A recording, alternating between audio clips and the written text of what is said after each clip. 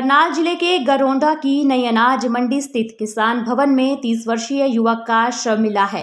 युवक ब्रह्मापाल गरोंडा निवासी लगभग डेढ़ साल से वेंकटाल में चौकीदार का काम करता था और वहीं पर रहता था। सुपरवाइजर बंटी नागरथ ने बताया कि ब्रह्मपाल पिछले चार पाँच दिनों से बुखार से पीड़ित था और उसकी दवाई भी चल रही थी, लेकिन वह बेचैन महसूस कर रहा था। रात में दूसरे चौकीदार ने फ़ोन करके बंटी नागरथ को बुलाया और उसे अन्य चौकीदारों के साथ सुलाकर वहाँ से चला गया। लेकिन अगले ही दिन सुबह उसका शव मिला है। बैंकट हाल में लगी सीसीटीवी फुटेज में वह हाल की तीसरी मंजिल पर चढ़ता हुआ दिखाई दे रहा था।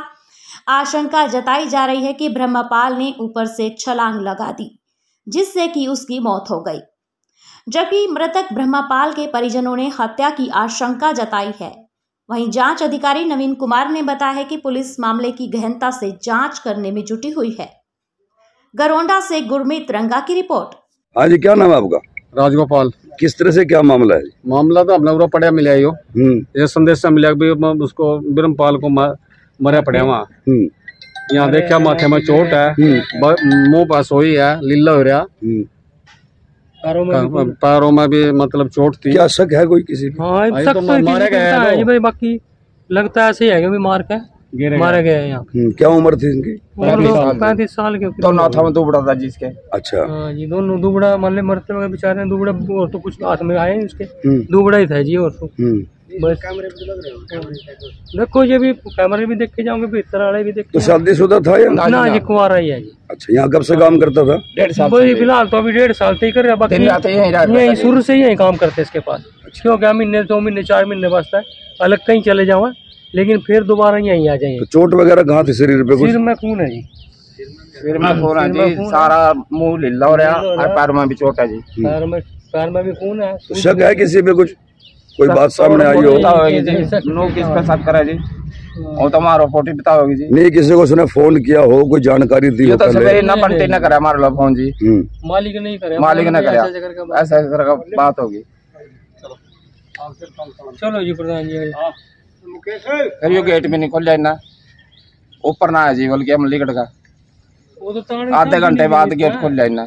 की किस तरह से क्या मामला सामने आया? आज सुबह करीब साढ़े आठ बजे एम एस सी के माध्यम से पता चला था कि किसान भवन में एक डेड बॉडी डेड बॉडी मिली है जिससे मौके पर आए मौके पर आइडेंटिफाई हुई और उसके बाद फिर के फोटोग्राफ्स लिए गए और डेड बॉडी को पोस्टमार्टम रूप में भिजवा गया जिसकी एक सौ चौहत्तर की कार्रवाई अमल में लाई जाएगी। और उसके बाद जो अपना साइड में कम्युनिटी हॉल में कैमरे लगे हुए हैं कैमरे चेक किए गए। कम्युनिटी कम्युनिटी सेंटर में ये डेढ़ साल से करीब चौकीदार है। और रात को करीब इसने ग्यारह साढ़े ग्यारह बजे अपने जो मालिक है इसका उसके पास फ़ोन किया भाई मैं बेचैन होता हूँ तीन चार दिन से बीमार भी था ये। तो बेचैनी के कारण उसने वो आके सु- सुला गया और अपना जो दूसरा अपना माली था उसको बोल गया भी ध्यान रखना है इसका। तो रात ने करीब वो बाहर से गेट बंद कर गया रस्सी के उसके साथ अपना चुन्नी के साथ। रात में करीब इसने जैसे सी फुटेज में चेक किया गया करीब रात को एक बत्तीस पे इसने वो चुन्नी खोल के ऊपर थर्ड फ्लोर पे जा रहा पाया गया। उसके बाद सुबह तक के फुटेज चेक करे गए। तो ऊपर ना तो कोई और जाना पाया गया, ना ये आता पाया गया। करीब फिर सुबह पाँच बजे ये अपने योगा वाले आ गए और इसकी डेड बॉडी साइड में अपना जो किसान भवन है पार्क में उसमें मिली है। वो भी सी एक सौ चौहत्तर की अपना पोस्टमार्टम की कार्रवाई कराई जाएगी, डॉक्टर राय ली जाएगी, जैसी कार्रवाई होगी, सूरत अमल में लाई जाएगी।